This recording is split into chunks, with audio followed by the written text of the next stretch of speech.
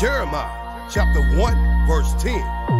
See, I have this day set thee over the nations and over the kingdoms to root out, to pull down, to destroy, to throw down, to build, and to plant.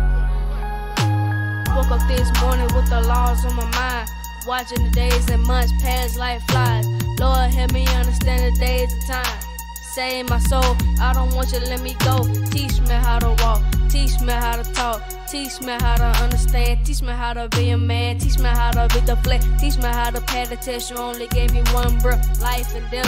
The ways of my life is to get the best of me. But I know one thing, it won't be the death of me. You gave me will, but the will to fight. I walk by faith and not by sight. As I walk through the valley of the shadow of death, I will fear no evil for the greatest day that I will rest. Hope to see God on the other end. Praying to forgive me of all my sins. I got precepts. Say what? Say what? I got precepts on my mind. Come on. I got precepts. I got what?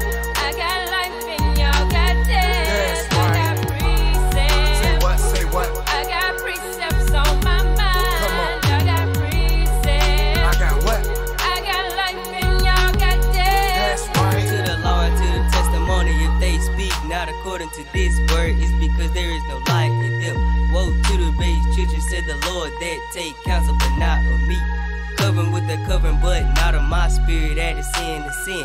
That this is a rebellious people, lying children that would not hear the law of the Lord, that say to the seed, see not. And to the prophet, prophesy not the right things, but speak unto the smooth thing prophesy to see, but the Lord said, Who gon' rise up for me against the workers of iniquity? And I shall speak my words, whether they will hear, whether they will forbear. I will make my words in your mouth fire, and as people would to the law and to the testimony. I got them precepts. I got precepts. Say what? Say what? I got precepts on my mind. Come on. I got precepts. I got what?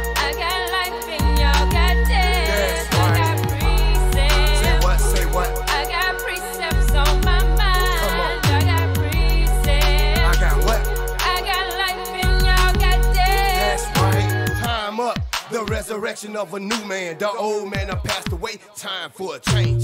Has possessed my thoughts. Inside my mind, I understand why the sun shine and the moon glow. Preach. Time is ticking. Over the my mind been slipping. Got my whole body tripping. Made me feel like I was dead amongst the living. In this cold world of sin, there's a beginning and the end. Hoping to see the better man inside of me. There's a simple man deep down inside of me. The fight is not against the world, but the world inside of me. I once was blind, but the Lord made me see. It's like pulling the 45 to eliminate my enemies. That demon's not a part of me. Heaven is my destiny. God is the greater me. I cast my cares on thee, hoping he will eliminate my enemies. So you wanna fight against the most high in I Christ? got precepts. Say what? Say what? I got precepts on my mind. Come on. I got precepts. I got what?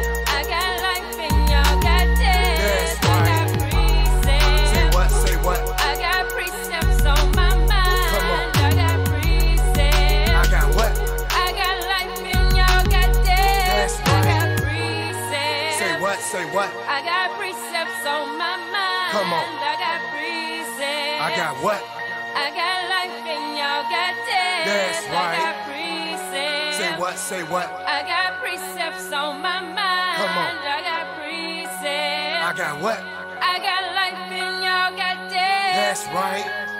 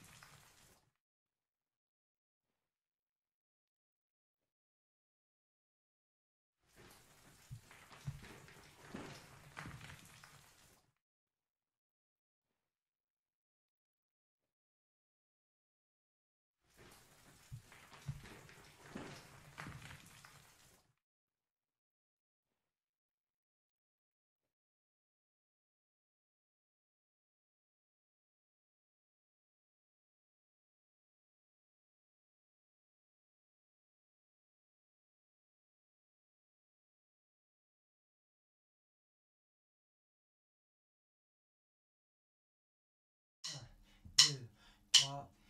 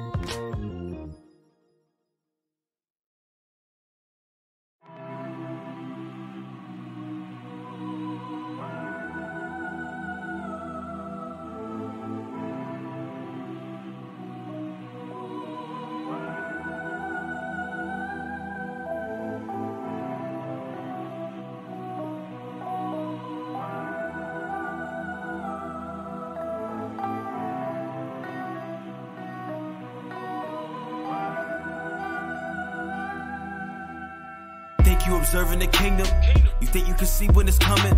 It's building, it starts from within you. And the sound with a roar and the thunder, we add into bone with the flesh and the sin. You blow the breath upon you, purging all the evil. Beckon to the people till they get their leaders. Slaying all the eagles till the fall of Edom. And no, we ain't write it, just call it and read it. You sin on the front, we just say what we seeing. We only out seeking the chosen of Isaac. A Isaiah light, you ain't think that we see us? Putting in work like they just didn't see us? Then give us credit on none of our labors. And they'll be trembling with terrible fear when they witness the strangeness of a salvation.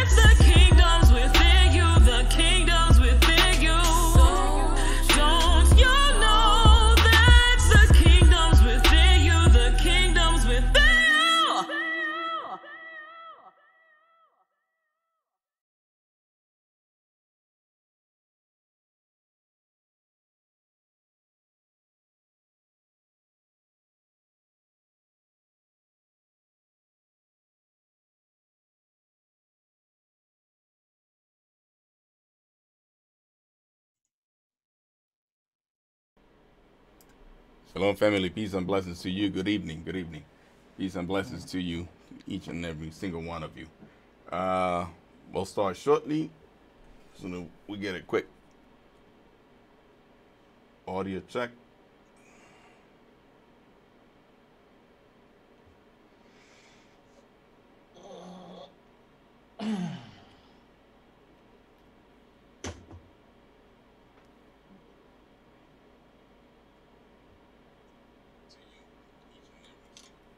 Praises to the Most High. We're good. Right. Right. Let us rise and face the east. Sisters, cover your head. Brothers, uncover your heads. Men of Israel, blow trumpets.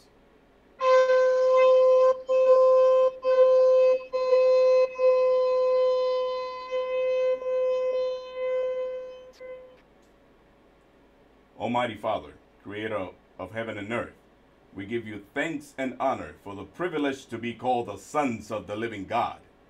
We thank you each and every day for thy loving patience and kindness towards us. We continue to ask you to fill us with thine Holy Spirit, Father. We ask you to guide us with thy with thy word, so that as we come back to you and repent, we can continue in your counsel, doing your will and speaking your words unto our salvation through faith in thy Son, Jesus the Christ. We pray that you edify your people who are about to receive thy word. Let it be for our learning as much as it is for our action, O Father. Help us endure in our walk to righteousness. Continue to place like minded brothers and sisters who are looking to keep thine laws, statutes, and commandments and faith in Christ. It is in his name that we pray to you, Father. Amen.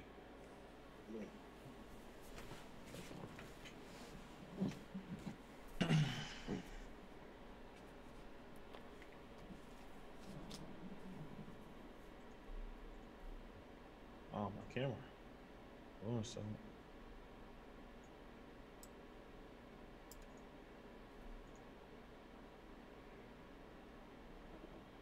All right, we good. Y'all can see me? Okay, all praise, all praise. Uh, hope the audio is good, video is good. Everybody watching online, how y'all doing tonight? Everybody good?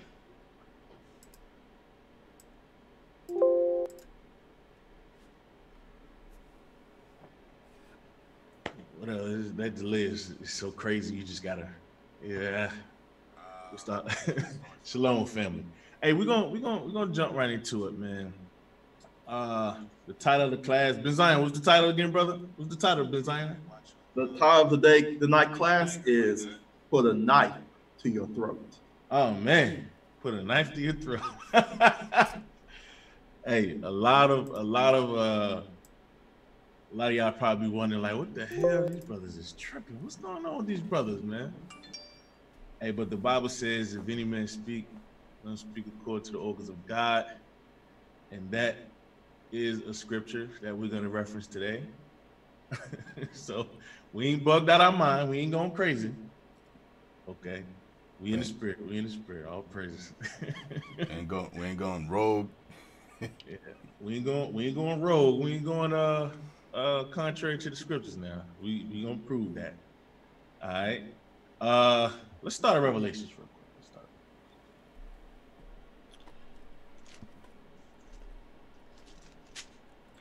Let's start at Revelations. Now, this class, believe it or not, came about uh when I stood up and my knees started cracking.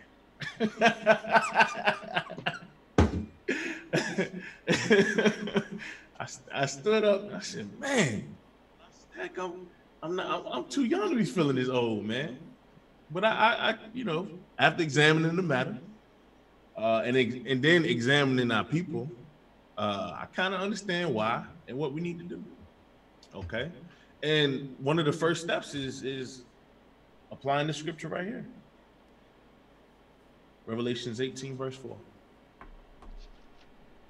Revelation chapter 18, verse 4.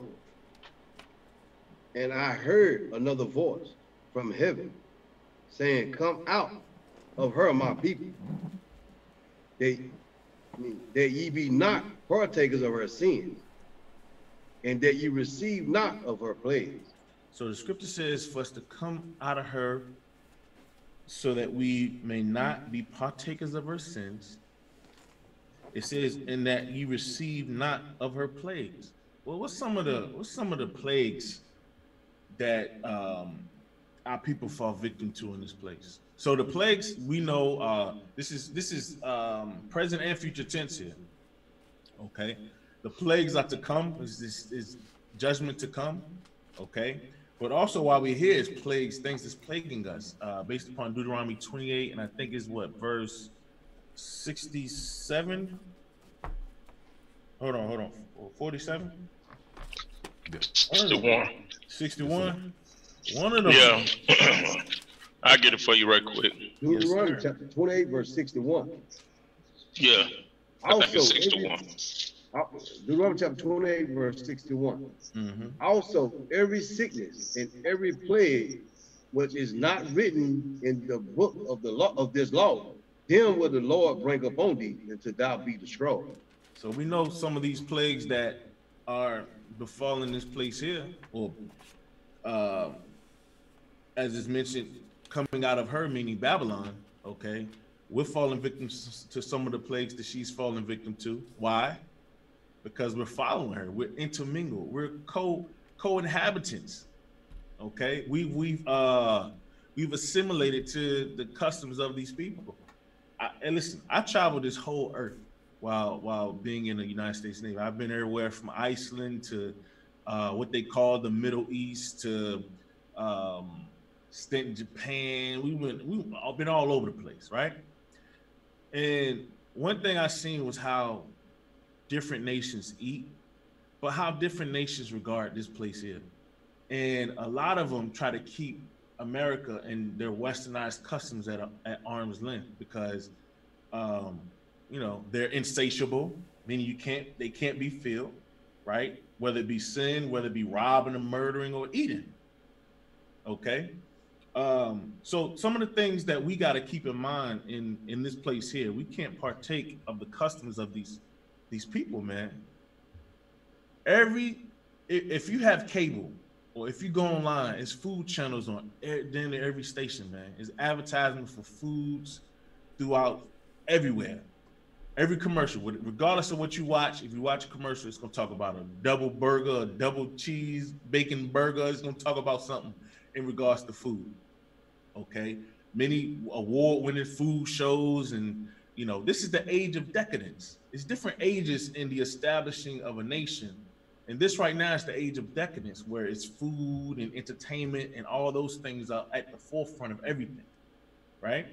So understanding that we gotta we gotta come to the realization that the things that these people are doing here we can't necessarily do as a nation we gotta come out of that okay? A lot of us majority of us based on statistics are the biggest fattest uh well nourished overly nourished people on on this planet okay? And that's not our custom. It's not our custom. We have the we the so-called blacks hispanics and native americans have the worst rates of obesity amongst men women and children than any other nation okay? Than any other nation as a whole. All right? Uh people say well what about the samoans? No we guess what? We're bigger than them. We are we're we're fatter than them. I want y'all to understand that. Okay? And that's a problem man. Our foreparents they they would fight for days weeks months years on end. They will they will wield the sword so much that the sword will the blood will coagulate around their doggone hand attaching their hand to the sword. Some of y'all y'all walk up the steps some of us i'm not y'all some of us we walk up the stairs and you get winded. You can't take two steps and you ah, ah, you breathing heavy. Nah man our foreparents weren't like that okay? Because they understood the scriptures and we're going to understand them after today so we got to make some changes so yes it's going to start with our spirit yes but physically as well man we got to make some changes myself included because as i get older i stood up and heard my knees popping and i'm like what the what is this I looked at my knee and asked, "Why am I thus? What is what the hell? What's going on here?" Okay, I'm too young to be feeling this this old, man. I, I'm feeling like I'm 80 years old. All right, so I cut me first. So if you get cut by this class, hey, I was cut first. Starts with me. All right. Uh, let's go to first First Chronicles, man. Let's let's get an example of our foreparents and and how they how they uh, were disciplined and were able to uh, fight for hours on end. Okay, we had many mighty um, warriors come from our lineage. You know, hey, I, I guarantee you, if majority of our people were in shape, I get, I, I bet you to be less uh, gun violence. That's the easy way out. That's, that's the easy way out. They're like, all right, I ain't gonna fight, man. I ain't trying to get tired. I don't want no, I don't want no sweat on my clothes. I don't want. It's just, I'm just being crazy, but um, you know, people still gonna try to murder each other. That's just the nature of us, right? But uh, we definitely need to look at the history as to our foreparents. Understand they used to fight. Remember uh, David's valiant men? Three of them went through the host of the Philistines, got the water for David, and was able to take it back without spilling a drop. That takes stamina, something called stamina. A lot of us, we, we can't even spell that word. Stamina. we ain't got none. Absolutely no stamina. All right. Uh read what you got. You got you in chapter 12 and 8. 12 and 8. This is going this is going through uh uh David's men. Co- come on. First Chronicles chapter 12, verse 8. And of the Ga- Gadites, there separated themselves unto David into the whole, to the wilderness, man of might. So and thi- man of so so what tribe is this? This is the tribe of Gad. Y'all seen um what's what's that movie where they were running um Apocalypto. Man, even the big heavy set guy was gone. They were running for days, it looked like, chasing little Jaguar or Jaguar, whatever he called himself. Okay, they had stamina. They were mighty men. But read it from the top.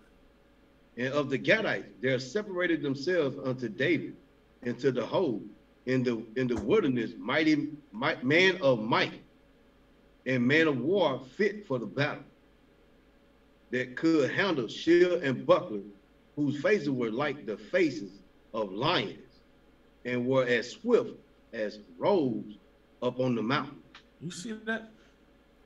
These men were swift as roes on the mountain. They they listen, they were swift in shape. They were fit for the battle. They were ready. They were prepared for the battle. I tell you what, man, a lot of a lot of brothers be so tough. But uh, you know, myself included. Somebody somebody hit me right now. Ain't much I can do but hold on to him to the to the release go. For real, man. We're not in shape. We we just so out of I'm telling you, it's it's bad. It's it's horrible, right? Because we're the best athlete athletes and everything. It's just a lack of discipline that got us here. Right? It's a lack of discipline that got us here. But I guarantee you, hey, somebody hit me right now. All I can do is hold them. I ain't got too much for you. ain't got much for you right now. Okay. We got to return back to the days of old, man. How our fore our foreparents, how they conducted themselves, how they were. Hell, even Moses, when he was what, when he was about to die, his his strength. What did it say? It's, it mentioned something about his strength. It's in Deuteronomy. He was he was in good health. Deuteronomy thirty four. Either 33. 34. Hold on, it's 30. It's either 33 and 7, 34. 34. 34. 34 and 7. Deuteronomy chapter 34, verse 7. And Moses was 120 years old when he died. So Moses was 120. You look at uh the age, our age of, of life expectancy is what 70. They want you, they want you 70, 75, something like that. They want you to work all the way up until you 60 something and then give you a few years until you croak. That's cra- that's crazy when you think about it. They want you to work to how, what's the age of uh, Social Security? What 65 or something like that? So they want you to work to 65 and the age the uh well our our life expectancy is like 66 between 66 to 70 years old. So once you're done working, you can go on and die. That's what they that's that's their mindset. Okay. And meanwhile, they're gonna fuel you and pump you full of the worst things that they can.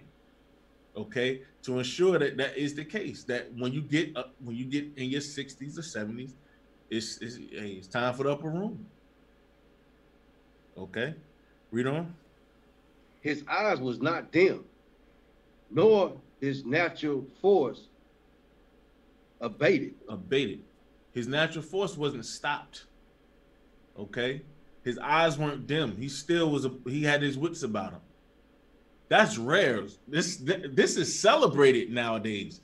If somebody's like hundred and something years old, they they celebrate them. This is the oldest person in the world. They put them, you know, put them on camera eh, because it's it's abnormal. It's abnormal. Okay, for a, a, a husband and wife, I seen a Jake husband and wife. They lived to be like 102, 103 or something like that together. That's that's rare. Okay, that's a rarity. Why? Because this system here that God told us to come up out of is constructed to kill you.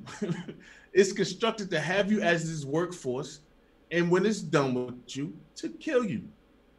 The pharmaceutical companies, they're not here to heal you, they're here to sustain you. Understand there's a big difference. They're here to keep you along until they can't use you as a workforce or use you, period. Then you, you know, they send you to a home and then off you go. All right. So we got to put it in our minds now to get ourselves together. Majority of us, majority of us in Israel, we talk about the high holy days and eating and stuff like that. We are the the largest largest people on this earth, man. And I found statistics to prove it. Now, I'm not just saying that based upon something I thought or something that just came to mind. This is proven by sheer numbers. The Hispanics, the so-called Hispanics, the so-called blacks, the so-called natives, native Indians, okay, they are the huge, they are the largest uh they have the largest rates of obesity ever. All right. So the Bible tells us how we need to eat, what we need to do, how we need to uh um conduct ourselves, what we need to eat, how we need to eat, right? All that's lined out in the scriptures. But for the most part, we don't we don't we really don't adhere to that. Or we do, okay, but we overly nourish ourselves. All right. So let's go to Sirach 31. We're gonna, we're gonna head to Sirach, man. I ain't gonna hold y'all too long either. Just a class high, you know, came about. Most I put it in my spirit to bring this thing out. Sirach 31 and read verse, uh, start at verse 16. Sirach 31, verse 16. Eat as it becometh a man, those those things which are set before thee. So the scripture says, Eat as it becometh a man, those things that sit before thee, right?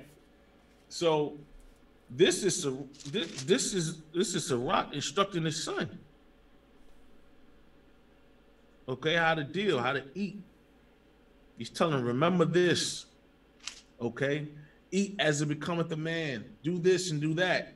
This is instruction being given here. This is some sound instruction that we need to give give ear to. Okay, read on. And devour not, lest thou be hated. And when you sit and you consider what's in front of you, okay, you're gonna do what? You're gonna consider the people, consider the people that's amongst you, and you're not gonna eat up all the doggone food, right? You're gonna make sure everybody has enough. Everybody eats, right? Come on. Leave off first for manner's sake, and be not unsatiable, unsatiable, lest thou offend. So have patience. Leave off first for manners' sake. it's good manners to feed the guests. It's good manners to feed uh, those that are, are hungry or less fortunate before yourself. Okay. It says, leave off off first for manners' sake, and be not unsatiable, lest thou offend. What does it mean to be unsatiable? Unsatiable. Because this is what America is breeding. Somebody gonna pull it up? Yeah, I- I got it. All right. Okay. Uh, of an appetite, of an appetite or desire, impossible to satisfy. So of an appetite or a desire. So this goes for the spirit and flesh. We're unsatiable. You can't feel it. All right. One that sits down. I remember my grandfather used to tell me this story about his cousin. They used to celebrate wicked days, hell days, and things of that nature.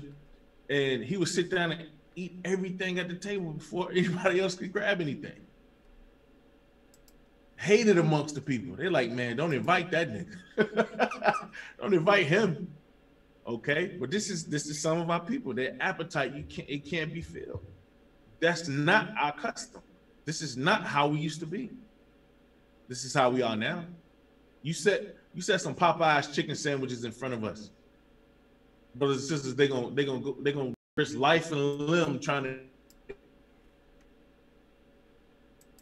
Okay, come on. When thou sittest among many, reach not thy hand out first of all. So don't you ain't gotta be the first one to eat. Doing that shows you lack you lack control of your spirit. You lack discipline. Okay? Um, grab a little. Most brothers, when they go to eat, they feel they play all the way to the top. All the way to the top. Y'all seen that before? Mm. They go to eat and their plate is like a dead going mountain of food. And then you looking around, you're like, man, all these people gotta eat. They don't care. Okay. Come on. Very little is sufficient for a man well nurtured.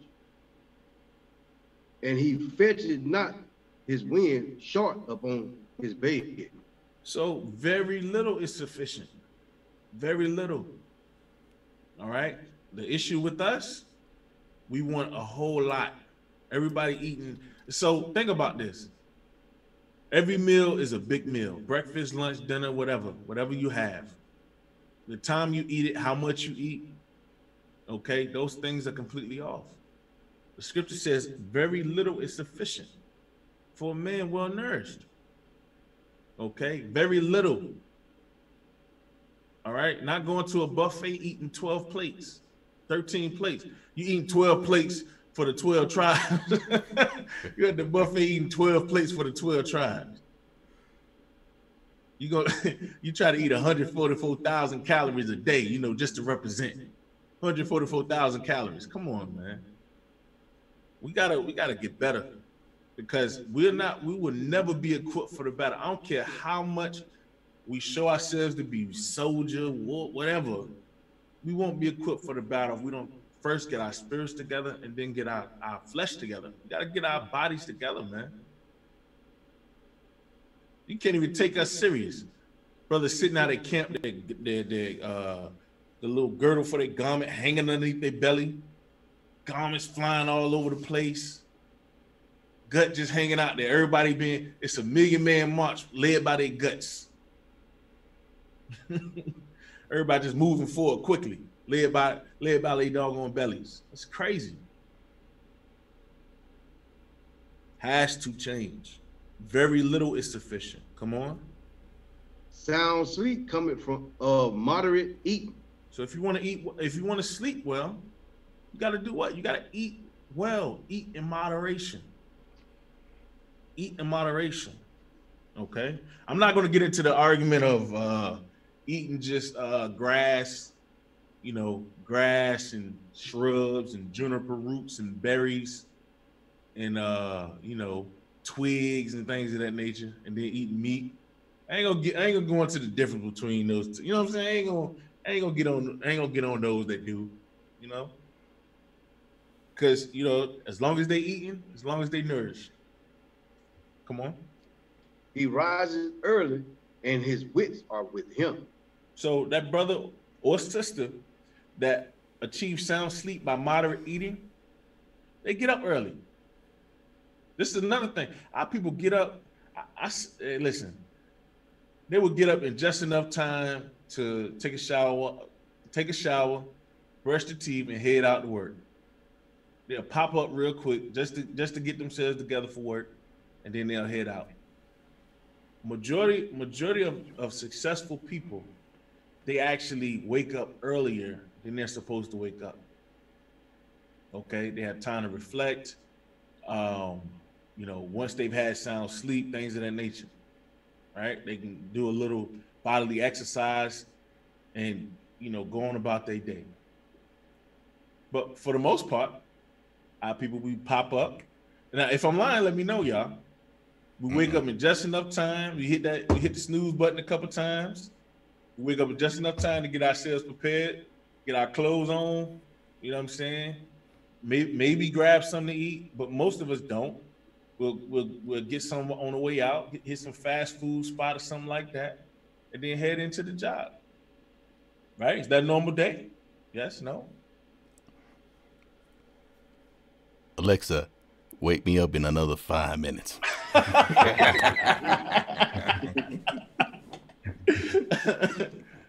hey, because I, I know when you know when I did have to make the commute and stuff like that, man, I'll wake up right in enough time to get there on time, but I never woke up early enough to really, you know, reflect on my day, go over some scripts, things of that nature. But luck, luckily, I had an hour drive or hour and a half drive where I could, you know, deal with brothers, answer questions, field questions, go over scriptures and stuff like that with my drive, with my commute. That's what I was getting in. But like for the most part, our people they don't they really don't get up on time. They get up in time, not on time. They get up in time enough to get those things done to get out the house. You know, try mixing it up. Change, change, change the diet. Change what you consuming, how you consuming it, what time you consuming it, so you can sleep well. Right? Get a little exercise in. And we ain't talking about being no gym rat now. There's some gym rats. All they want to do is pump iron. You know what I'm saying? Hey, hey, hey, then hey, I, I know a brother right now who's Israelite. He say he say at least he say so. Uh, you know, the brother stay in the gym for like five hours. So he'll work all day, then he'll go to the gym for five hours. You can't tell me that brother's studying. I don't I don't know what he doing. He, he ain't sitting down reading no scripts like that. You you at work for eight to ten hours, and you turn around for five hours and you go to the gym. Something wrong there. You know, hey, well, that's priorities, priorities. But it's all it, it all comes down to discipline, right? It all comes down to discipline. But read on. But the pain of watching and choler and pain of the belly are with an unsatiable man. Pain of watching, choler, and pains of the belly. Okay. Pains of watching. It says choler. Look that word up for me, Habakkuk. Mhm. Watch this. And it says, and pains of the belly are with an unsatiable man. Why? Y'all ever ate to the point where it's like it hurts? You're like, man, I can't even walk. I can't even do nothing. You eat so much doggone food, it hurt. okay, then you go to sleep. Then you want to go to sleep, and then get upset because you got acid reflux or something like that. And you want me to read choler? Yes, sir. Uh, choler. Put it on screen right quick. Uh, All right. It'll show up in a second.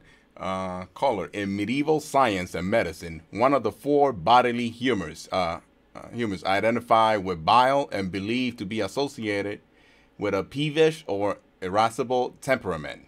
So it says bile or irreverent or irascible temperament. That's what you said. Right. Yes, sir. So that bile is that reflux, that that uh, stomach, that stomach acid coming back up. Okay, so a lot of a lot of brothers and sisters have acid reflux because of what they eat and when they eat and how they eat.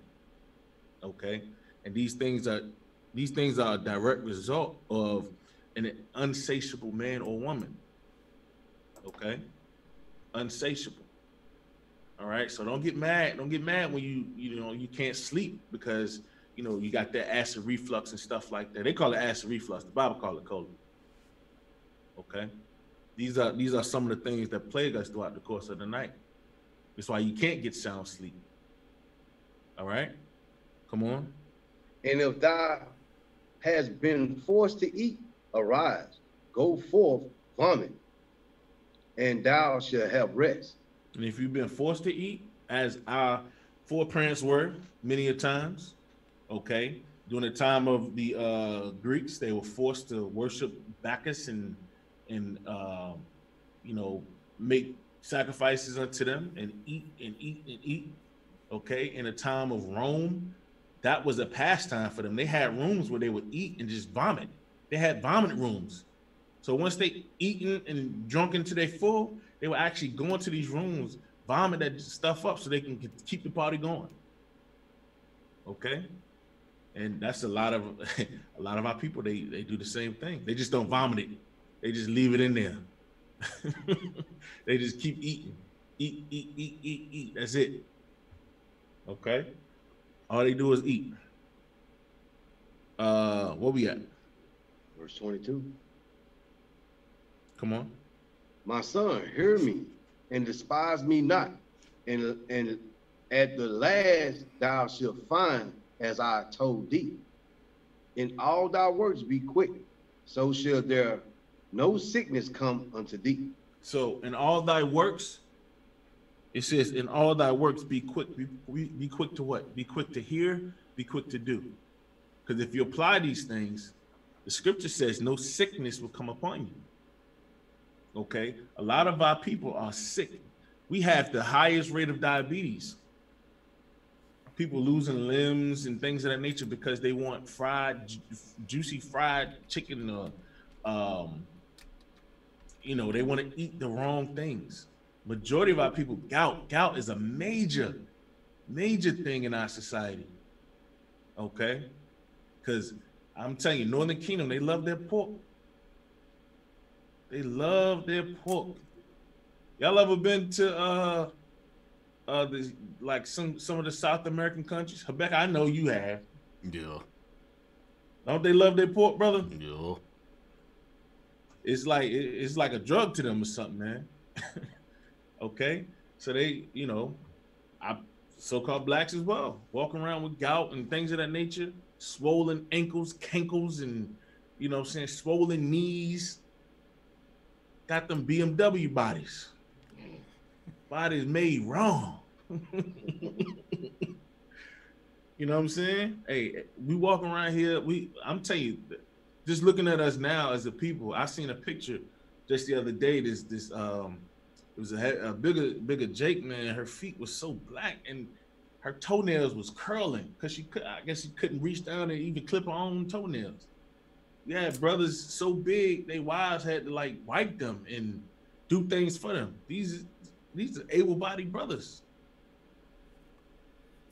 Okay. That's our foreparents ain't ain't have to do things like that. Right? Give me um let's go from there. So the key the key to uh sound health is what? What's the key to sound health according to the scriptures? In, in, in, in peaceful sleep. Moderate. Moderations. eating in moderation. Right? See, me me personally, uh, I don't eat throughout the course of the day. Like it'll be a the day will go by, and it'll be five or six o'clock until I eat something, and I realize, man, I ain't ate nothing all day. You know what I do after that? Lay down. Nah, I don't lay down. I go get something to eat. Oh, oh. But when I eat, I eat. it's like I'm trying to make up for breakfast, lunch, and everything that I missed. thing. So you eat Exactly. And then by the time I realize, man, or if I decide to cook something, by the time you know the food is ready and prepared, it's almost close to time to go to sleep. So the food ain't gonna fully digest within your system. It takes time for your body to process the things that you consume throughout the course of the day. You know what I'm saying? So a lot of us we wonder why, man. I, hey, I don't eat that much, but I'm gaining a lot of weight. Well, it's a method to that madness. Okay, we got to eat right. We got to eat on schedule. Eat moderately. Okay, and this don't help either. Uh, First Timothy four. Read verse eight. First Timothy chapter four, verse eight. For good bodily exercise profited little. Read that again. For good bodily exercise profit profit little. Read it one more time. For good bodily exercise profited Take, take your time. Take your time. Look at that. Look at that verse.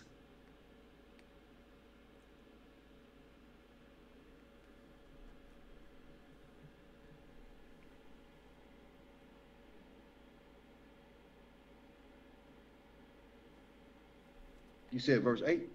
Yeah, verse eight. Yes, sir. Oh yeah, yeah. For bodily ex my bad. For bodily exercise profited little. My bad. So the scripture says, bodily exercise profiteth little. So if something profits, is it a good or bad thing? If it profits little. Is bodily exercise bad? Is it good? It's good. It's good? Okay. Nah, it says it says for um bodily exercise profited little. Ain't gonna be much getting you're gonna get from it. You gonna get a little from it, ain't gonna be much. Okay. Okay. Anybody else? Profit is profit. So profit is profit. E- e- elaborate, elaborate. A little profit is better than no profit. Okay. So a little exercise. So we get we can equate that profit there. So for a little exercise is better than no exercise, right? Right. Okay. Now it ain't talking about you you you a gym rat sitting in the gym for five hours out, out a day. 30 minute walk here and there. Yeah, get you get your walk in, stretch, get your, you know what I'm saying? Hey, you might want to lift a little bit, do a little time in there, but that time su- shouldn't supersede your time with the Most High God, getting an understanding. You know what I'm mm-hmm. saying? Or any, any anything else of that nature. but it does profit. There is profit in exercise. Okay, just don't just don't get vain. Okay, you you you in the mirror doing curls for the sake of curls, just to look at your arm grow. Yep. That's not what this life is about. It's about good health, not vanity. Okay, because there's many there's many of men right now. Um, what's the brother? The brother lifts such heavy weights, he can't even walk now. One of the biggest heavyweight uh, lifters. brother can't Oh, even yeah, walk. Yeah, he's all broken. He broken, man. He, he he walking on he walking on uh Yeah, walking on crutches. Yeah, former Mister like like three. Mr. Olympia. He was Olympia, Mr. yeah. Olympia like three or four times. Yeah, You know? He can't can't even walk. he was a a a, a cop. Right. He was a cop. Yeah, exactly. We know all this information about him. We can't even remember his name. It don't matter. It Ronnie don't. Ronnie Coleman. Ronnie Coleman. There you go. There you go. There you go. Ronnie Coleman. hey, that brother can't even walk, man. That dude was he had the biggest physique. Dude was huge. Stayed in the gym forever. He's still in the gym. He got those uh uh detective baby leg legs now. His lower body smaller than the top body. You know what I'm saying? But hey, he's still in the gym. He get up early in the morning like he's still competing destroying his body. That profit is little. Okay? But there still is a profit to it. So we got to take advantage of it. Right? Um, so we read Sirach 31 to examine how not to eat. Right? Go to Proverbs 23 real quick. Watch this. Because it's an addiction it's an addiction as well. Some people just they're naturally addicted to eating. Right? Proverbs 23. Start at verse 2 for me. Proverbs chapter 20, 23, verse 2. And put a knife to thy throat, if thou be a man given to appetite. So the scripture says, put a knife to your throat if you be a man given to appetite. Okay? Especially amongst a, a ruler, or in this case, amongst a ruler or, or uh, someone of high status, or anybody. Okay? Jump down to um jump down to verse 23. Verse 23. By and by the Matter truth. fact, jump, I'm sorry, jump to verse uh I think it's verse 20. Proverbs 23, verse 20. Be not among wine bibbers, among riotous eaters of flesh. So the scripture tells you don't be amongst wine. It says wine bibbers. So what's a wine bibber? Someone drinking wine in moderation. Someone Drunk. drinking someone drinking wine but in moderation. Uh, I think it's he's that's the person that get drunk. Person that oh he he he oh he drank too much wine. This is right. This somebody get towed down. They they get drunk as I don't know what. Okay.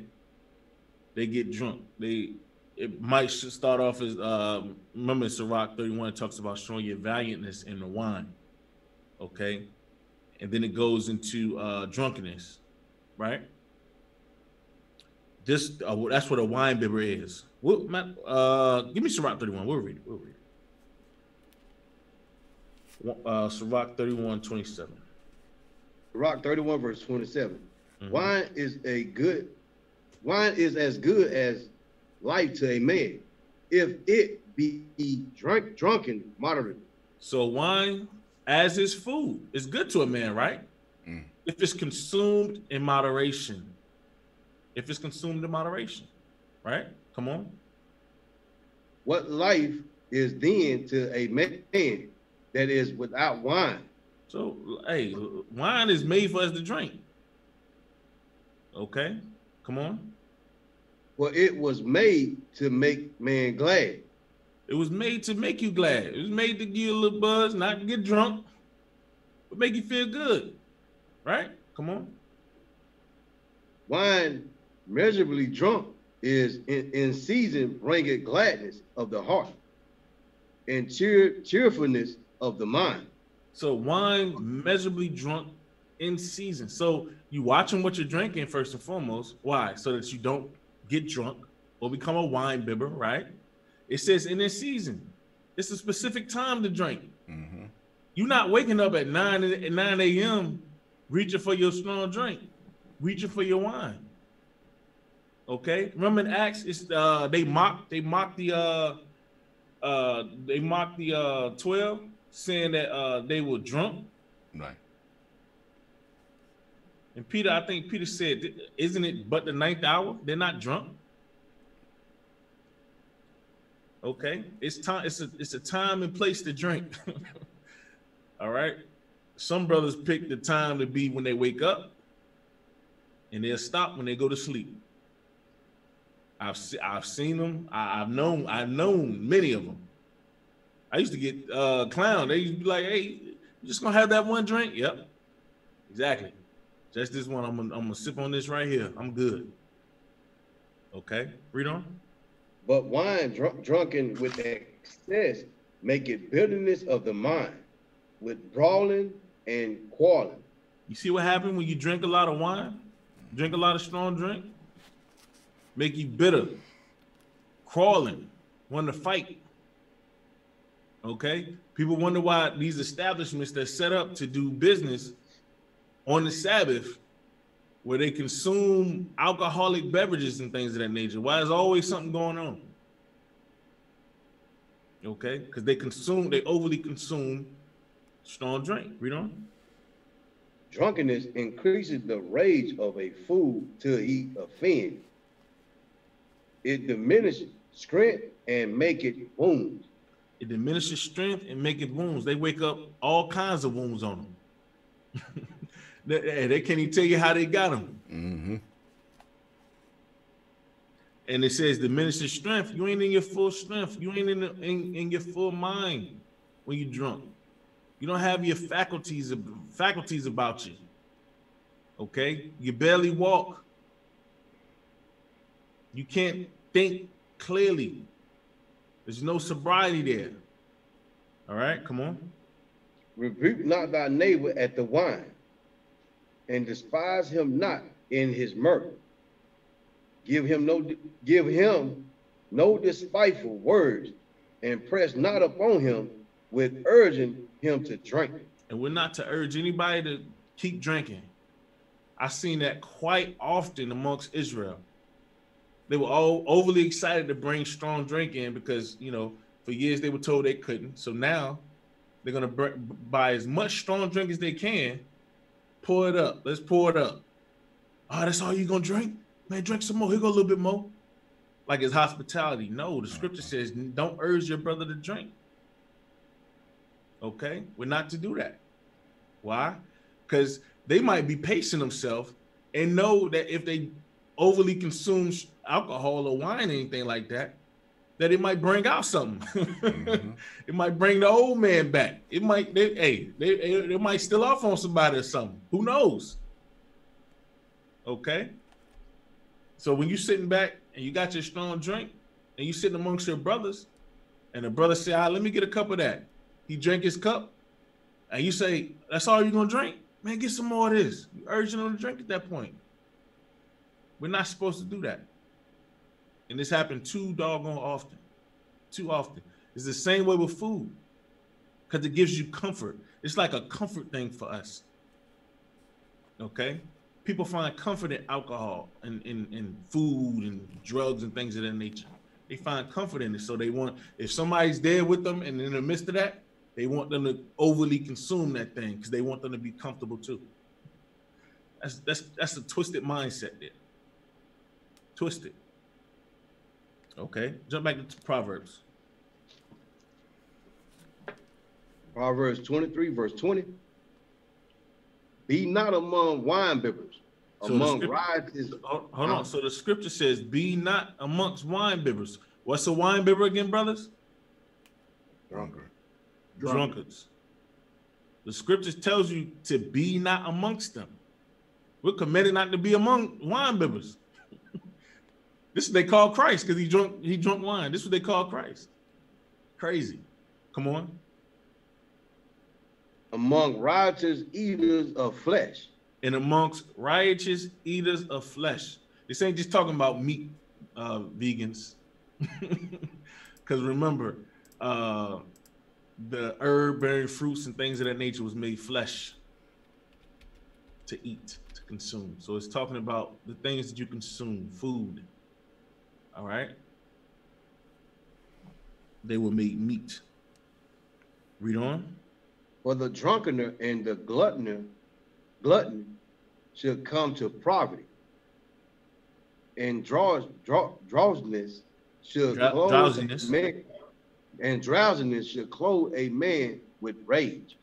Rags, my bad. with rags. So you're gonna be you're gonna be with rags. So uh that insatiable brother or sister that's constantly eating, okay, it's it's it's an outcome that we we fell victim to. Okay, it says the drunkard and the glutton shall come to poverty. Why are they gonna come to poverty?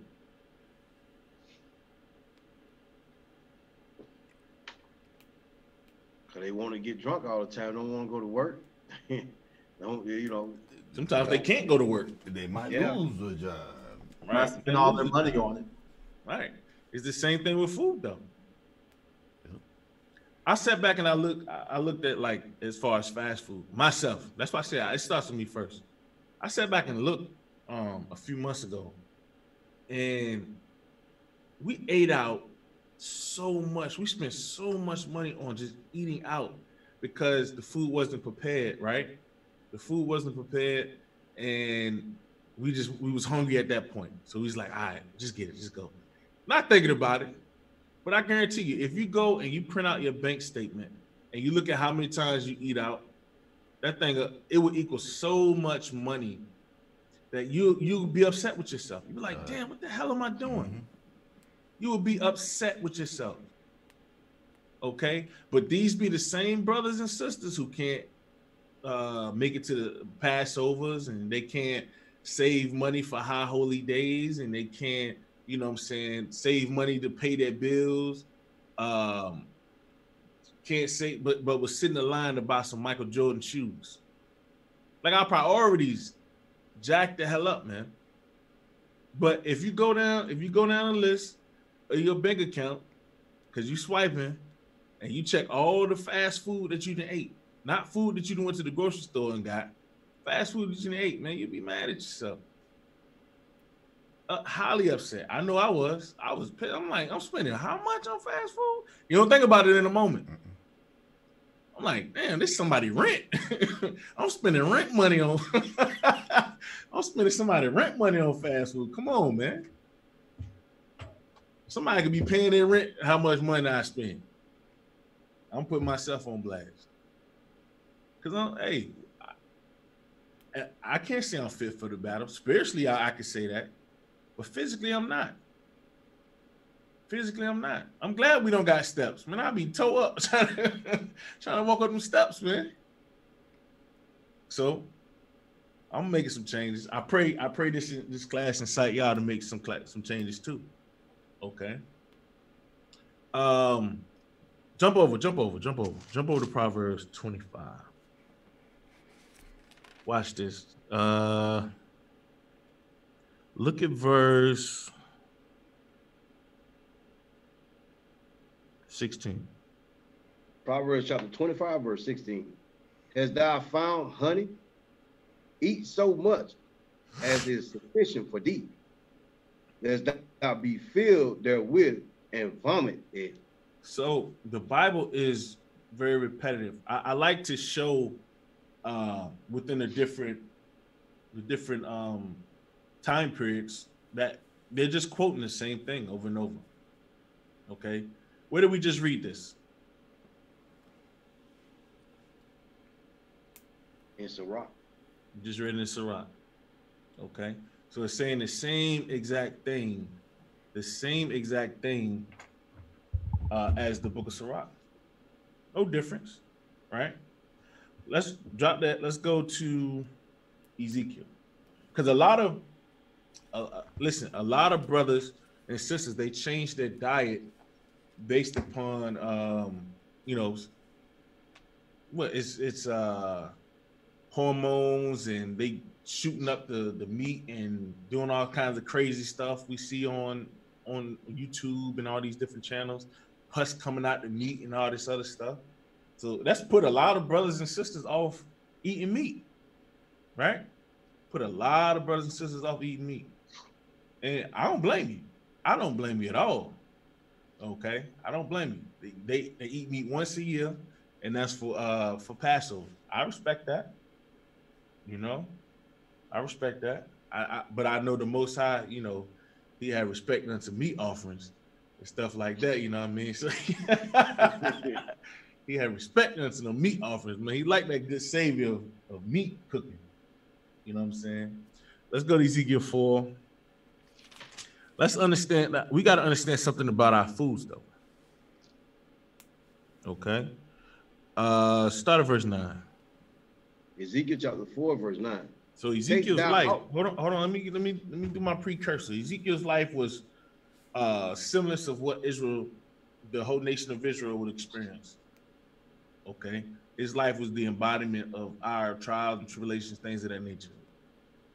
Very sim it, it was a similitude to us. Okay. Uh start at verse 9. Ezekiel chapter 4, verse 9. Take thou also unto thee wheat and barley, barley and beans and lentil and uh, mel, melt, me- Millet. Millet. millet and fitches and put them in one vessel and make the bread thereof according to the number of the, of the days that thou should lie upon thy side. 390 days, 90 days should thou eat thereof. So for that period, that, that would be their diet for 395 days. Come on. and thy meat which thou should eat should be by weight 10 20 shekels a day from time to time should thou eat it So your meat that you eat shall be from day to day, and it should be measured, right? In moderation. We didn't we read that earlier? Mm-hmm. right Come on. thou shalt drink also water by measure Hold on. That said Kool-Aid, right? thou shalt drink also water by measure That says pop. That's soda pop. That's, that's, that's soda, right?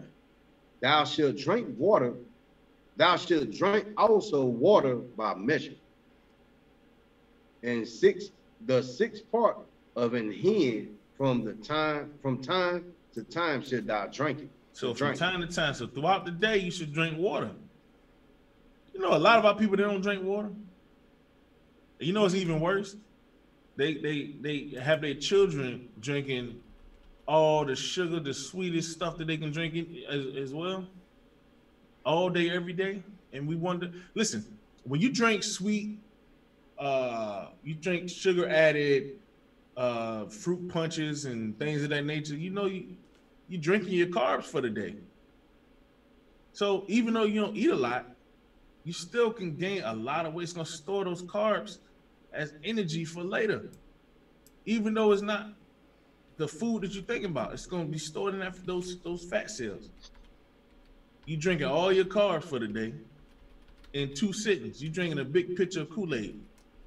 And then then you top it off with some with some uh with some fried chicken and, and, and, and everything else under the sun. Okay? And wonder why we get why we're so sick as a people. Our people are sick, man. Our people are sick. We have the worst everything. And we don't make it any better. Come on. and thou shalt eat it as barley cake and thou shalt bake it with dung that cometh out of man in their sight So we should bake, we should bake our food with man's dung and drink water and measure our meat out in moderation, right? That's how we supposed to bake our breads and, and stuff, right? With man's dung, right? So we take dung, we take we take man's dung and we, you know, gotta make some cakes, pat, make some cakes and some pies and stuff, and eat it like that, right? Because that's what the scripture says. Now, somebody, hey, that, that- I guarantee you that's some kind of doctrine somewhere. Somebody, they, they, they just take advantage of that right there. Mm-hmm. Read the next verse. And the Lord said, Even thus shall the children of Israel eat their defiled bread among the Gentiles, whether I would drive them. So when we were scattered, we got to eat our breads defiled amongst the Gentiles. So as Ezekiel had to eat his bread literally there defiled, we will be in future in future time, or uh, as prophecy dictates, we would eat our foods defiled amongst the Gentiles. So everything we uh, eat is equivalent to a man's dung. Yep. Everything, everything we eat, whether it be uh, grass, roots, shrubbery, you know that rabbit food and carrots and all that stuff is defiled.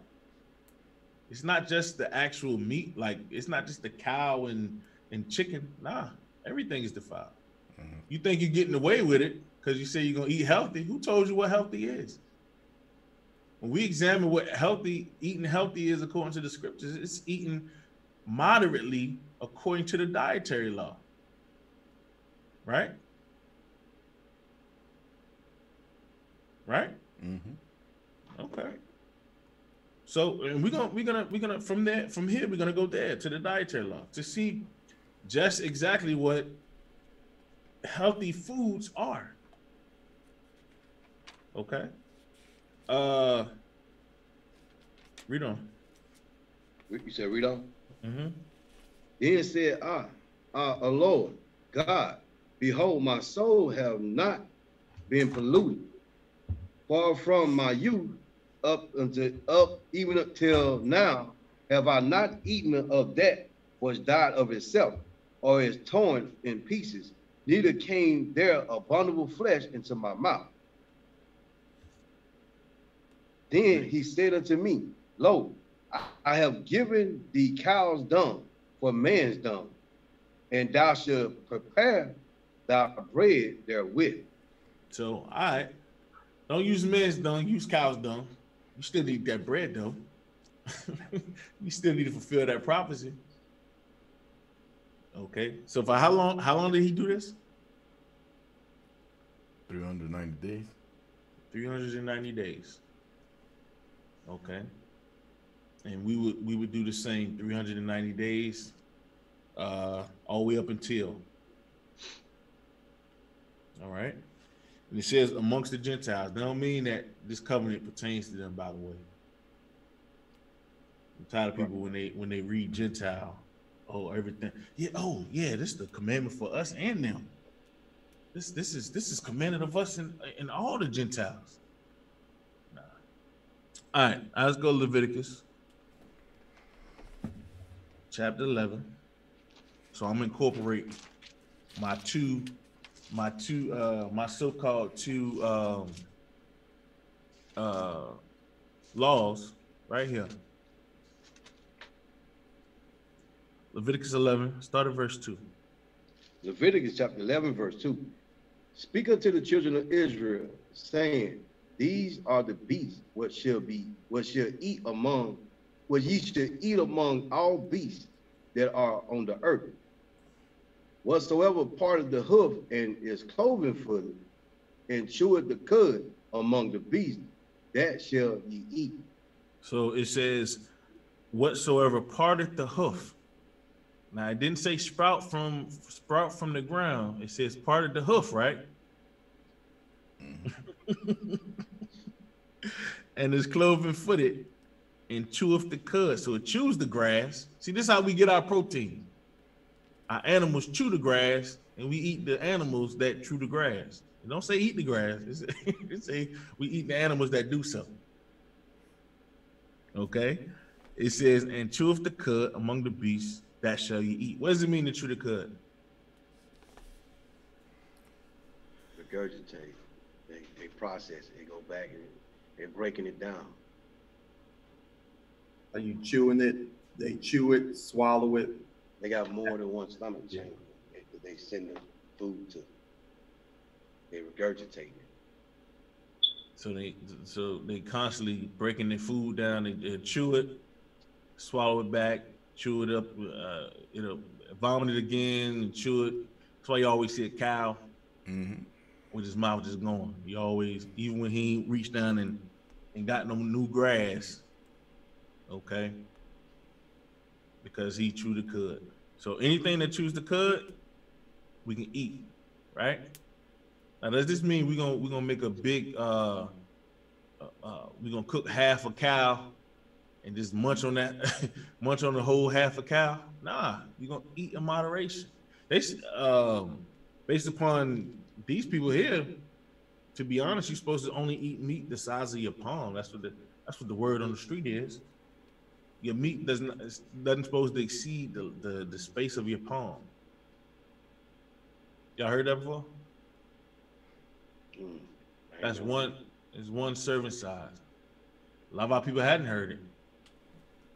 To them, one serving size is uh uh three pieces of chicken with some with some uh with a with a, a big wedge of baked macaroni and cheese and some and some greens. That's that's a that's a side. I mean that's a serving for one person. When in all actuality, that can feed a family of three from one plate. Right? Remember when when uh the Spaniards came to this side of the earth, our brothers Gad and the other tribes, Reuben, Simeon, the other tribes were here. Right? And they were amazed at how much their their soon to be conquerors ate. They said that they would eat enough of, to feed a family of five. That's how much they would eat and drink. Now that's crazy. Okay, but they understood that you don't need to eat massive portions of food. All right. If food wasn't produced as it was, and we would have to go out and actually hunt and gather our own food, we wouldn't be eating as much. And it's a lot of the things that we incorporate in our diets that we wouldn't even eat half for over half of the year. Because if you had to grow it, guess what? You you wasn't eating it while it was growing. Okay, so we just gotta keep we just gotta keep in mind, man, as we as we prepping our, our spirit, we getting our mind together, man. We studying, we getting an understanding of the scriptures. The Most High is giving us more. He's increasing our knowledge and wisdom. We got to do our part and make sure that we control our flesh. We we we have the discipline to control our spirit to get ourselves together. So when we're called to do whatever, we can go unencumbered. We ain't sick. We ain't bent over. We ain't hurting. You know what I'm saying? If we gotta go out, eh, hey, my thing is, man, if, if I gotta go out and I gotta teach the people with bad knees, how long you gonna be able to stand out there and edify the people? Your knees bad. You got a bad back. You know what I'm saying? Brothers was bringing chairs out to camp at one point, just sitting in chairs and stuff, sitting on coolers. So out of shape, man. We gotta we gotta correct ourselves. We gotta put that knife at our neck. okay? We gotta control our flesh. We gotta we gotta begin to get into control of us. Because if you can't control your, your your food consumption, damn sure can't control yourself when it really comes to sin. Right? Mm-hmm. All right, uh jump down. Reverse four. Verse 4 Nevertheless, these shall ye, ye not eat of them that chewed the cud, and mean, are of them that divided the hoof, as the camel became, become, because because he chewed the cud and divided the, the hoof. Let me read that again. Nevertheless, these shall ye not eat of them that chewed the cud, or of them that divided the hoof, as the camel, because he chewed the cud, but divided not the hoof, he is unclean unto you. So that dividing of the hoof, that split within the hoof, they don't have. They have hooves like like uh what is it like a, is it like a horse? Yeah. No. They got hooves like horses. Okay. You can't eat horses. You saw tear horses up talking about this good red meat. Seen them over there in Italy, man. They have a whole horse head. They have a, a carcass of horse that's, lit, just hanging there. These people are disgusting. They'll eat it. Okay. So the camel, come on. And the coney, because he chewed the cud, but divided not the hoof, he is unclean to you. Read on. And the hare, because he chewed the cud, but divided not the hoof, he is unclean unto you. Come on. And the swine, though he divide the hoof and be cloven footed, yet he chewed not the cud, he is unclean to you. So they gotta make they gotta make that whole criteria. They gotta meet the whole criteria to be clean unto us. Our pe- majority of our people don't care. They'll eat any of it, especially the swine. They love that. Okay, and then wonder why they so damn sick. Why they're so bloated and you know what I'm saying? We don't have we don't have those issues. Well, I'm gonna speak for myself. I don't have those issues. I don't know. Brothers might have pork on their breath. I don't know. I don't know. I mean, pork here. Hey, brother said, ain't no pork here. That's right. Hey, we only do turkey bacon and beef bacon. That's it. That's it. Real bacon right here. Even in turkey, that thing. That's it. Yeah, right. Come on. Of their flesh shall ye not eat, and uh, and their carcass, carcass shall ye not touch. They are unclean to you. So you can't even touch them. Nonetheless, eat them. You can't even touch the carcass of the other uh, uh, of the unclean animals. Okay. Come on. These shall ye eat of all that are in the waters, whatsoever have fins and scales in the water, in the in the seas and in the rivers, them shall ye eat. Come on. And all that have not fins, scales in the seas and in the rivers, of, of all that move in the waters, and of any living thing which is in the waters, they shall be an abomination unto you. So anything outside of the criteria that the Most High God outlined here, okay, if you eat it, the scripture says that it's an abomination unto you, right? Read uh read we read this yesterday. Read Revelations 21, 27. Revelation chapter 21, verse 27. Verse 27. And there should in no wise enter into it anything that defileth, nor whatsoever worketh abomination, or make it a lie, but they which are written in the Lamb's book of life. So you see that? Anything that makes make it says anything that what? That is the and there shall ye there is and there shall in no wise enter into the it, anything that defileth or whatsoever worketh abomination or make it a lie, but they should but they which are written in the Lamb's book of life. So it says, There shall no wise enter in anything that defileth, neither whatsoever worketh abomination, or maketh a lie. Okay, so you if you make yourself abominable, you're not gonna enter into it, meaning the kingdom. Okay, you're gonna miss out on all the grandeur, all the glory that we we, we read about. Um, when was that? This Sat this past Sabbath. Mm-hmm. Okay. You're gonna miss out on that thing, man. The scripture tell you uh it talks about the cheap things in life, it talks about health uh and the benefits of it. Matter of fact, let's let uh go to go to Sirach 30. Sirach 30, and I think it's 14. Sirach chapter 30, verse 14. Better is the poor being sound and strong and cons- uh, constitu- Constitution. of constitution Mhm. than a rich man that is afflicted in his body. So the scripture says it's better to be poor, okay, and not have a, a lot, not have a lot of food. Because the poor, they don't have a lot of food, do they? Nope. They don't. They they gotta they gotta make make do and get by on what they can. Okay, the scripture says you're better if you're in that situation, being sound and strong of constitution than a rich man. So somebody that can actually afford those things, and is afflicted in his body. Because eating in excess will cause you to be afflicted in your body. Okay? Overly consuming unclean things will cause you to be afflicted in your body. Money can't money can't fix that.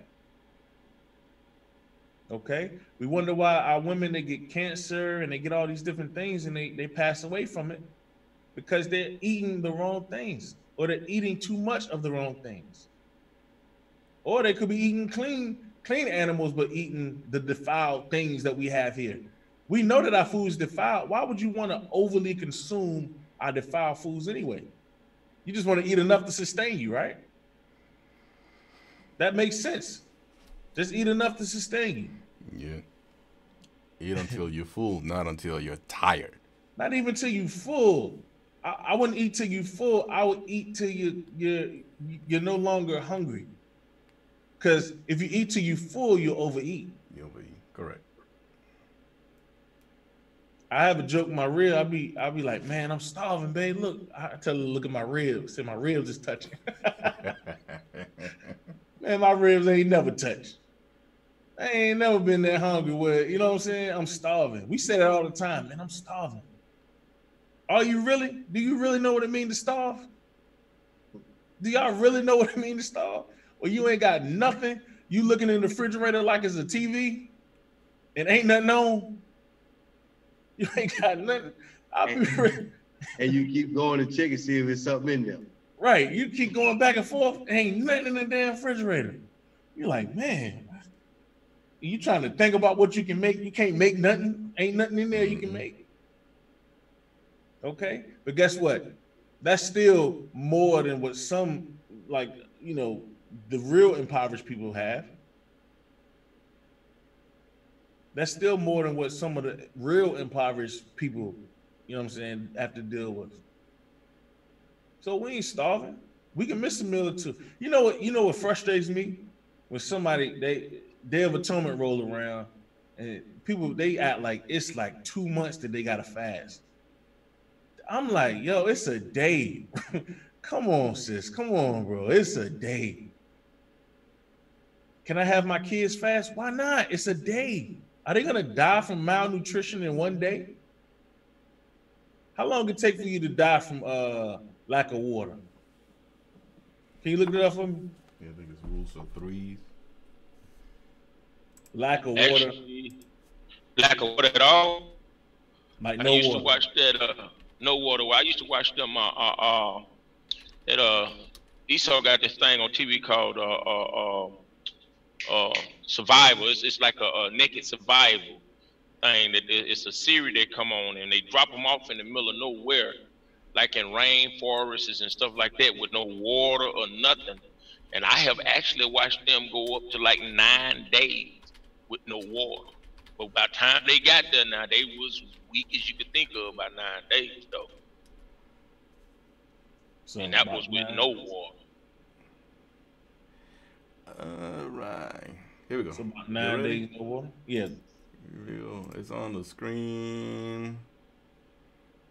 Now, and the question that I asked is this How long does it take to die from thirst?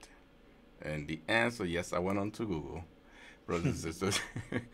and the answer. At least you is ain't go- you ain't googling scriptures, damn it. You ain't googling scriptures. That's all that No. matters. no. Come on. No, and the the question that I posed was again, uh, how long does it take to die from thirst? Approximately ten days.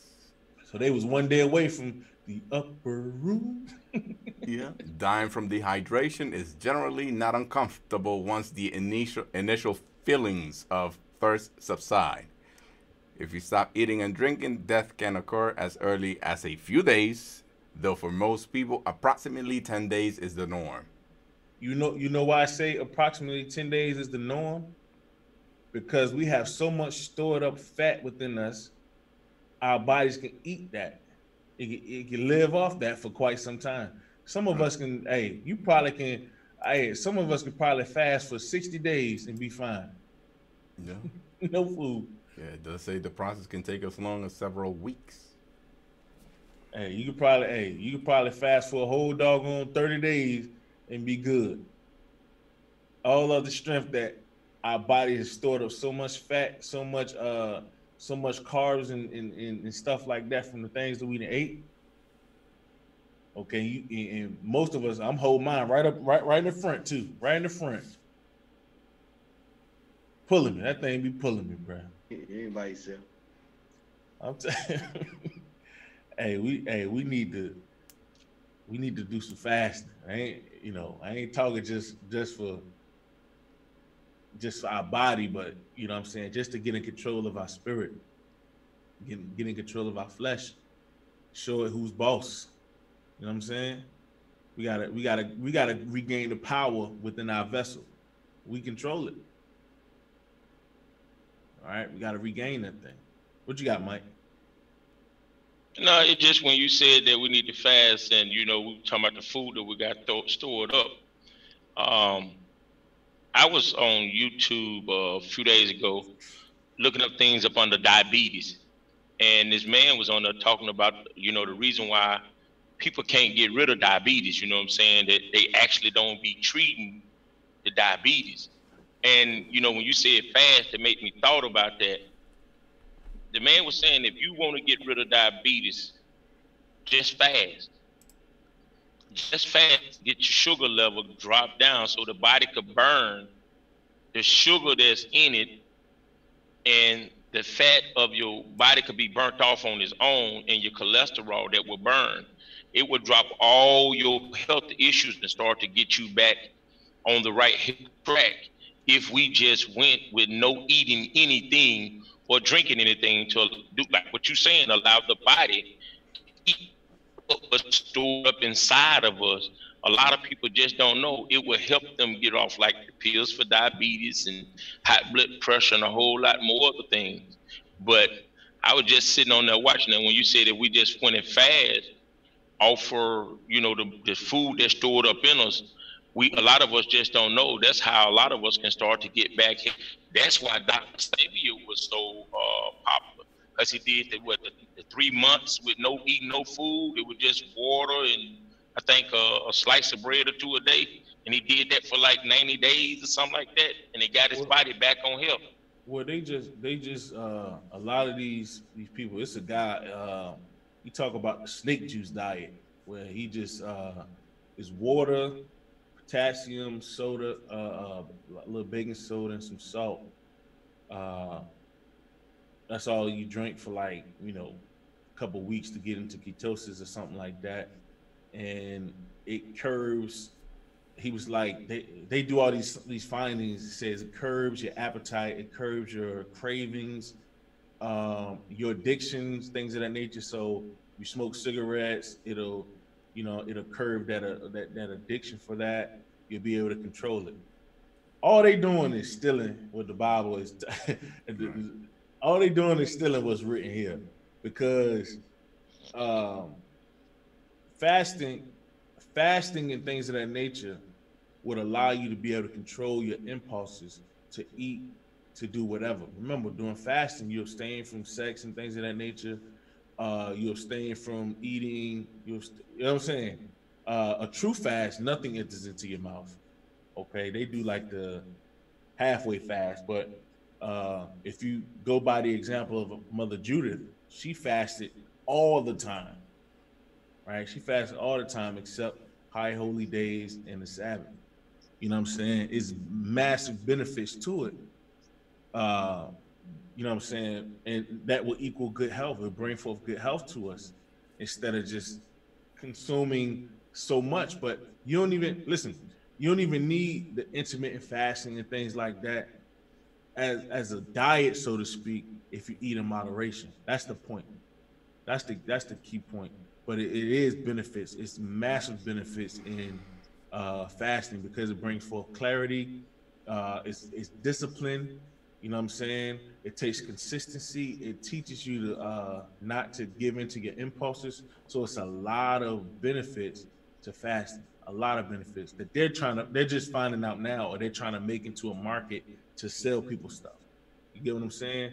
But hey, the benefits is already there. Our brother, our, our foreparents, they running mountains like like like those, and you know what I'm saying, fighting battles on end for days and weeks, and you know what I'm saying? Like we couldn't do that now. Imagine swinging a dang sword two times to chop somebody.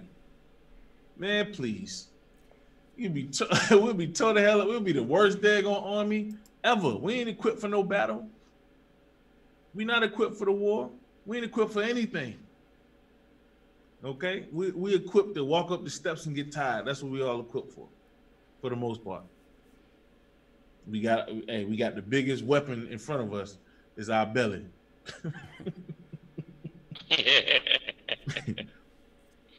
while while uh, brother Michael was uh, talking about diabetes, I looked up some some statist- statistics and numbers from the uh, American Diabetes Association. Do you mind if I share them? Yeah, I was gonna I was gonna grab some. If you got now, if you got I, some, I that's got good. some because uh, we were we were talking and discussing about numbers, you know, and, and it's and it's good to um, it's good to show them. I mean, obviously, this is nothing that you know is is hidden. So if you don't mind, I'd like to show them. Yeah, go ahead, bro. Oh, praises be to the Most High. All right, and they're on screen now, and this is uh um from the American Diabetes Association website, and this is diabetes by race or ex- ethnicity. Uh, the rate of diagnosed diabetes in, in adults by race and ethnic background are 7.4% of non-Hispanic whites. That's your, those are your Edomites. Uh, 8% of Asian Americans, your Moabites. Uh, and here we go. Here comes us, right? 12 12.1% of Hispanics, 12.7% of non-Hispanic blacks, and 15.1% of American Indian, Alaskan Native. So who who uh, and then let me bring it down to the cost of diabetes. It's a three three hundred and twenty seven billion dollar industry. Two hundred and thirty seven dollars a billion was for direct medical costs, and ninety billion was in reduced productivity. So, who are the who who is you know Esau most of the getting this money from? As it seems, from us. So there That's are. So, so, so you mean tell me we combine because of our insatiable eating or the eating of wrong things, we get diabetes and we combine to pay three hundred and something billion dollars? This was updated in you know March 22nd of 2018, but uh, this is their latest update. But yes, we're we're giving them that much money in you know in in in the cause of diabetes. So if we can control our mouth, there are many many benefits. Oh man. At, at least 327 billion. So imagine, and, and and that's crazy that you know the so-called natives, their their rate of diabetes is is way more than both Right. Judah. You know what I'm saying? The, the, the so-called blacks and Hispanics. That's crazy. You know what I'm saying? That statistic right there is that, that that number right there is just crazy. And think about this: they don't try to cure diabetes. No. Is there a cure for diabetes? No, no, they're they're just trying to treat it because obviously that's where the money is at. Right. They sell you insulin. hmm okay, to sustain you if you're uh and not to cure you. So fasting, it's been proven that fasting, it can, you know, I think not type two, but type one diabetes. If you if you fast, if you uh, get your diet right, you know what I'm saying, you can um you can actually get rid of it. Uh, but I don't know about type two. That's the one. But actually, that's that's actually what I was watching on. That's what made me went to talking about it because because that's what I was watching it on. Um, matter of fact, it was a Chinese guy, a Moabite guy. He was talking about it, and he was showing how that they don't treat the diabetes; they treat some totally opposite. They don't really treat the diabetes. So actually, the medicine that they give you it actually caused the diabetes to get worse. He said it was just. He made a. He gave a, a good analogy of it. He was like, uh, just say if you got a, a, a infection on your leg and it, it's real big sore. He says so they don't give you nothing to treat that big infected sore on your leg. He said, but then you catch a fever from the infection. He say, so what they do, the medicine that they give you, treat the fever. It don't treat the infected sore. So it causes the sore to get bigger, and they just constantly focus on the fever. He say, so the medicine they give you for diabetes type two, because that's what, like I said, that's what I was watching on uh, type two diabetes. And he said, so when they give you the medicine, it don't treat the diabetes. It treats the whole opposite.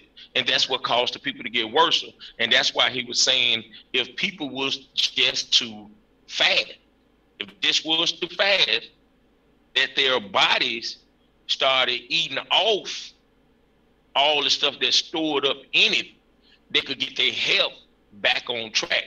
But by them not knowing this or not being told this, they just gonna depend on the pill or that shot that they constantly getting them. You know what I'm saying? Right. And um, that's what made me say it. So it don't so it don't cure anything. They don't cure anything. Pharmaceutical Nah, they don't cure. anything. They just sustain you. They just give you drugs to sustain you, your current uh, health, or to make it worse. You know what I'm saying? Yeah. So we got to take it upon ourselves because we're the ones affected by it. Numbers don't lie. You know what I'm saying? We're the ones affected by it. We got to make those changes. Okay. When it comes to obesity, childhood obesity, when it comes to childhood diabetes, things of that nature, we, we lead, we're, we're leading the earth in regards to those numbers. Okay. So you got to change that thing. We got to eat right. We got to eat good. You know what I'm saying? Eat according to the laws, but eat in moderation. Okay. Get your little exercise in, get some stretches in, things of that nature. It's all right. It's okay. Okay. All right, y'all brothers got anything? Nah, I ain't got anything, my brother.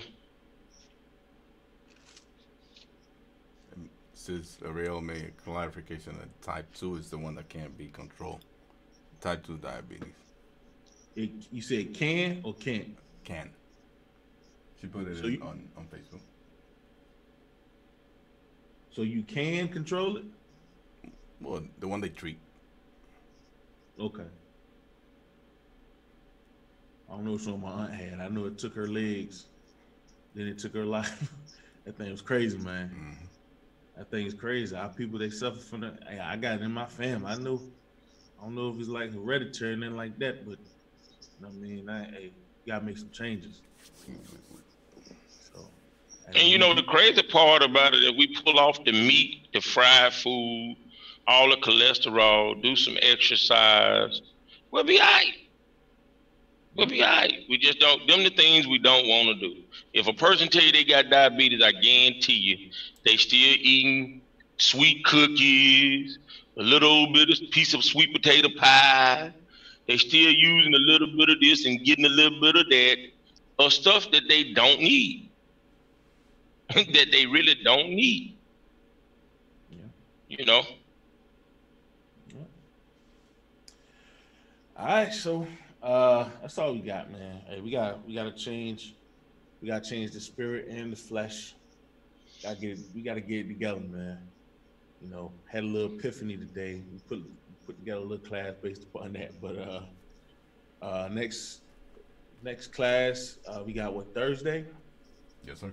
Yes, sir. So we'll uh we'll have next class Thursday. Again, if y'all have any questions throughout the course of the week in regards to uh uh any classes or anything like that that you wanna you want us to go over, any topics you want to discuss, feel free to uh shoot us an email at heirsofisrael.info at heirsofisrael.org. Um shoot that shoot an email there. We'll definitely um you know, let one of the brothers take take a shot at breaking down one of those classes and you know bringing forth that edification.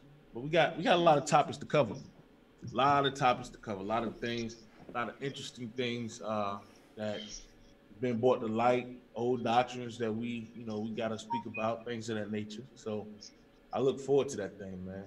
We gonna we gonna learn a lot, uh, especially before we uh, make that trek to head back to the streets. Make sure we on point, right? Yes, sir. That's what it's about. Uh, any questions? We got any questions online?